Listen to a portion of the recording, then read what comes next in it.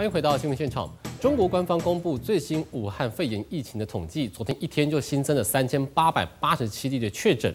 目前呢，境内确诊人数突破两万，来到了两万四千三百二十四人，死亡人数四百九十人，逼近了五百人大关。为了更有效的防堵疫情，封城模式蔚为风潮。现在，包括南京、宁波跟哈尔滨等九大城市也决定实施所谓的封闭式管理。而到中午为止，越来越多城市响应，总共已经有三十座城市采取人流管制，并且关闭非生活必需的公共场所，进入了半封城状态。武汉肺炎疫情持续紧绷，封闭式管理正夯。大陆各大城市纷纷采行，南京、宁波、福州、哈尔滨等城市四号深夜相继发布通告，实施封闭式管理。中国大城市的绝大部分社区已经进入封闭式或者接近封闭式的管理，包括呢非小区居民不得进入，快递人员呢实行无接触配送等等。浙江杭州在四号发布十项防控措施，对全市内所有村庄、小区及单位实施全封闭式管理。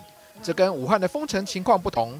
主要为了防范疫情输入，宣布进入封城模式的还有河南郑州、山东临沂等这些城市。虽然没有完全达到关闭交通的程度，但都已开始封闭式管理。形同半封城的封闭式管理，规定每户家庭每两天可派一个人外出采购生活物资。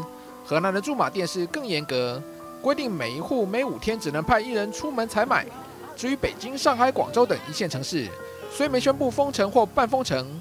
但大多数的社区都已自主实施封闭式管理。其实他就是从武汉回来的，一开始就是说他就从菲律宾回来了。大陆网友疯传福建晋江有个男子害人不浅，他染上武汉肺炎，没居家隔离，还大肆参加亲友宴会。这名男子被称为“毒王”，是超级传播者，从武汉回乡参加上千人的宴席，导致四千多人因此遭到居家隔离，还害七个人确诊感染。